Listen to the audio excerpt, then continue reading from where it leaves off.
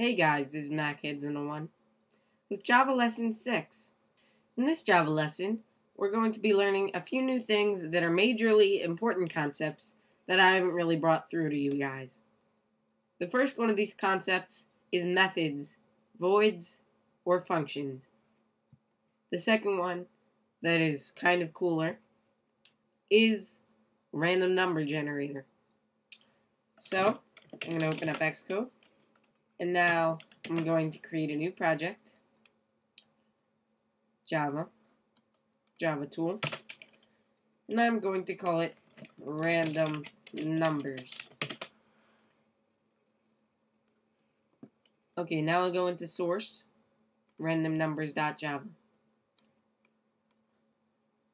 So, there are a few things in this code that I haven't pointed out to you yet.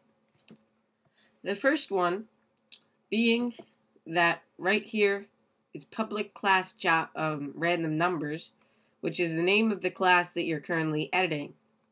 Random numbers, you can refer to it from other classes since it's a public class, and I'll explain that to you later. Inside of here is something called public static void main. Within that, we put our code. But what does public static void main mean? Well, Public means it's accessible from anywhere. Static means it's the same in all class instances. Void means nothing, so it, it's not going to return anything. And main is the name of the function. When Java runs an application, it looks for a main function in the code. Now the cool thing about Java is that you can have multiple functions that look kind of like this. Public static void main.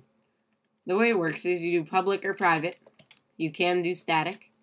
Then you do the variable type that it's going to return. Void means nothing.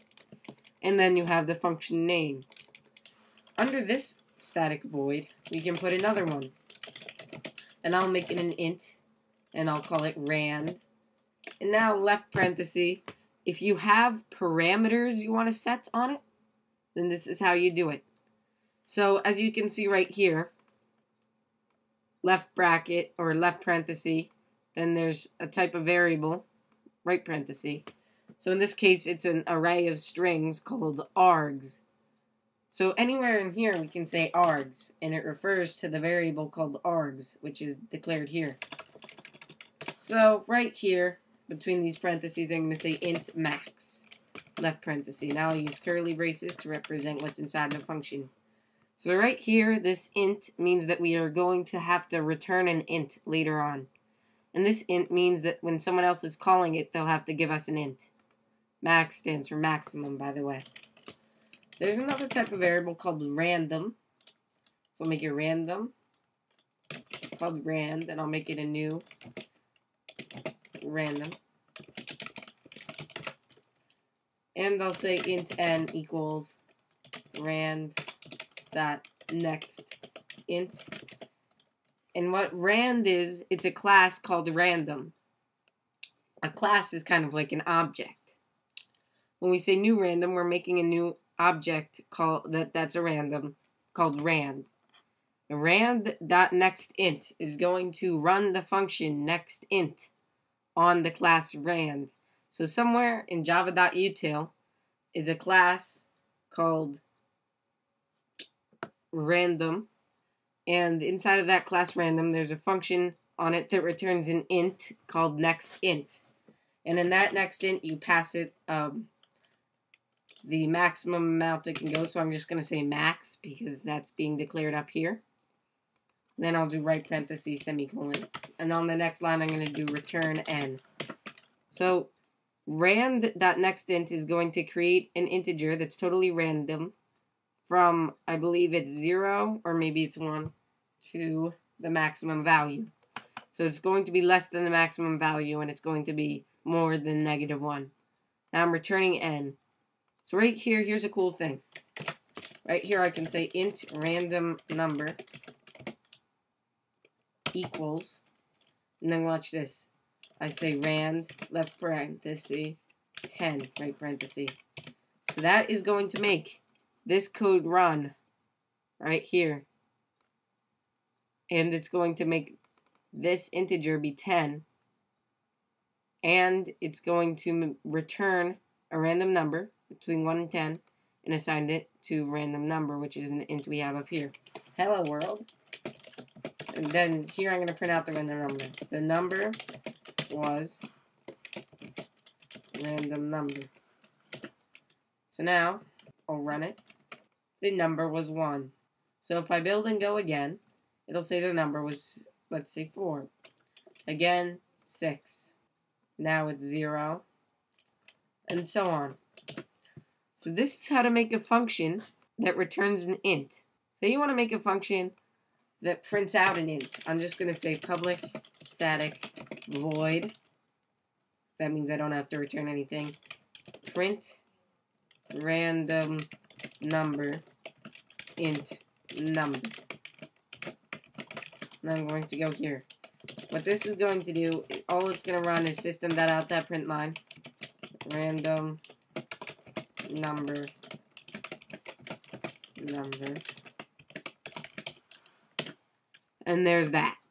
So now I'm going to get rid of this and I'm going to call print random number random number and there we go. So now random number I spelled random wrong. Either way, this is how to do functions and how to do random numbers, just as a good example. Here's what else you can do. You can even make a public static string if you want to. String random message. And I'm going to give it no parameters. That means that's why there's nothing in here. Now I'll say return quote quote and inside of these quotes, I'm going to say random number. Okay? And now I'm going to, instead of printing out random number, I'm going to say random message plus number. And watch this. There we go. Random number zero. So, this is a, a, a string that just returns a string. And it has no parameters. You can also do two parameters. For instance, like this. I'm going to make it a boolean. I'm going to make use random message. Now I'm going to say if use random message, then I'll print it out this way using the random message function. And else, I'll print it out using my own string. So, as you'll see here in a bit, I'm going to add comma space true to this. And this is how you do multiple parameters. You just use commas. So right here is our same old function. I'm going to make it use the random number, random message. else they'll say that. If I change this to false, now it'll just say number because it's going to this instead. So that's pretty cool. So now what I'll do, just for fun, is I'll say if rand less than 5, then I'll just print out number. And else I'll print out random number true. So this way, what I can do is I can make it so that it prints out just plain old number colon if the random number that's been generated is less than 5. If it's more or equal to 5, then it'll do this. It'll use the random message, which is random number. Now, another cool thing that you might notice is I don't use curly braces here. This is because if it's a one-line if statement, you don't have to use curly braces. You can literally just do it this way. If no semicolon or anything, the code, semicolon, and then you directly after that you can put an else. You don't have to use semicolons. Now I prefer to put an enter after this, so that way it looks more like an if statement, but remember, enter means nothing, semicolons the magic. But anyway, that's that. So now,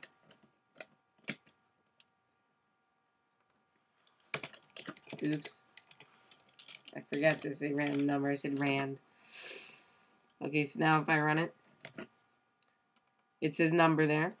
If I run it again, it says random number. And again, it says another random number. See if we can get another number. Seems like a lot of things are greater than 5. Yeah, there we go. So another number. So this is how random numbers work and how functions work. So I hope you get this. If you do not, I will post this entire Xcode project online. And just to prove that, I'll zip it up now and this will be exactly what you see in the description of the video. So anyway, thanks for watching MacHeads 101. Subscribe and goodbye.